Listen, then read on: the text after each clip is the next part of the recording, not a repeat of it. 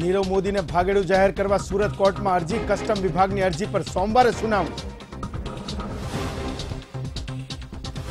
વડોદરાના અનગઢમાં લંપટ ડોક્ટરના અપહરણ કેસમાં ખંડણી માંગનાર મુખ્ય આરોપી ઝડપાયો. આરોપીનું નીકળ્યું સરઘસ. હળવદમાં સરકારી અનાજની હેરાફેરી મામલે કાર્યવાહી ગોડાઉન થયું સીલ. આદિવાસી યુવકનું પોસ્ટમોર્ટમ ન થતા ડાંગના ધારાસભ્ય ધરણા પર હોસ્પિટલના ગેટ પાસે બેસીને જ કર્યો વિરોધ.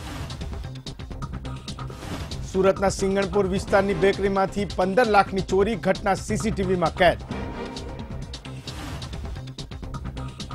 ગાંધીજી ઝીણાને પીએમ બનાવવા ઈચ્છતા હતા, દલાઈ લામાનું ચર્ચાસ્પદ નિવેદન.